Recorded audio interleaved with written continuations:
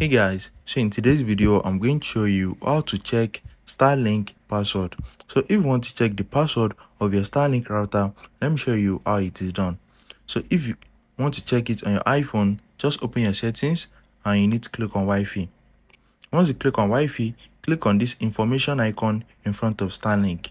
If you are not currently connected to it, you can just click on edit at the top right corner, verify your face ID and look for Starlink right here.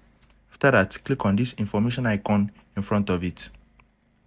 Once you click on it, you are going to see the option for password. So click on the password, verify your face ID, and now it's going to show the password of your Starlink network. So that's how to check it on your iPhone. If you want to check it on your Android device, it is the same thing. Just go over to your Wi-Fi settings. So let me long click on my Wi-Fi and it's going to take me to my settings.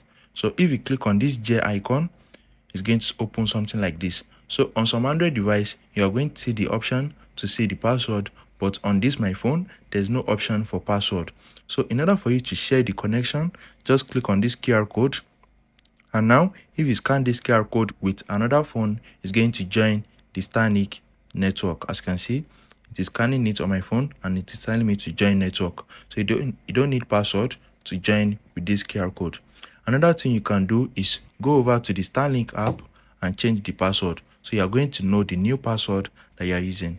Just download the app to your phone, click on the profile icon at the top right corner and log into your account. After that, scroll down and click on settings.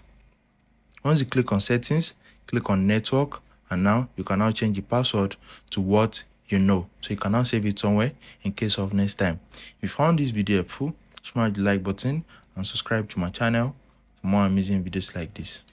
Thanks for watching.